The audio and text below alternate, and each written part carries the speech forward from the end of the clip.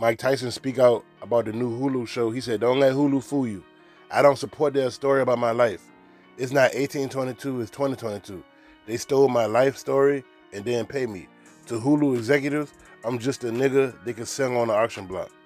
And he said Hulu was streaming a version of The Slave Master. They stole my story and didn't pay me. Damn, that's crazy. Because I remember hearing about the the Magic Johnson series.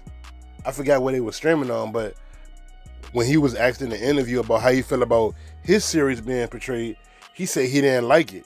I don't know if he wasn't getting paid from it, but I'm assuming he wasn't. And another thing I'm assuming is if you like a public figure, like in a, especially in sports, basketball, football, boxing, they could use your likeness. Like you probably signed some contract that if years down the line you get like successful and famous, then somebody want to do a story or a movie on you, they can without you having any say so. Or you can't sue or anything.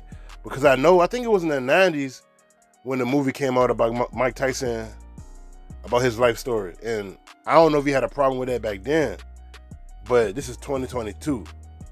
And ever since I seen the trailer for this new Mike Tyson show, the first thing I wonder was, was Mike Tyson a part of it? That, that was my first question.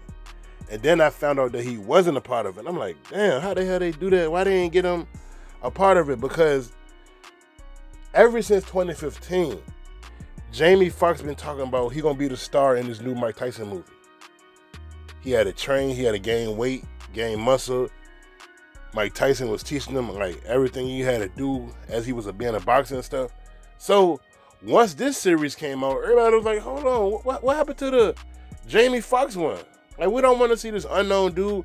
And I think he's from England or something. He not even a black dude. They always get actors to come to America and they're not even from America. They got to get speech training, language training. They got to learn so much. But instead of getting somebody from America who already know the, you know, all the mannerisms and the lingo and stuff, but that's crazy though. Mike Tyson said he ain't getting no money. Don't support this show. It actually looked good. I ain't gonna lie. That's crazy, man. What y'all think about this? Will y'all be checking it out? Y'all let me know in the comment section.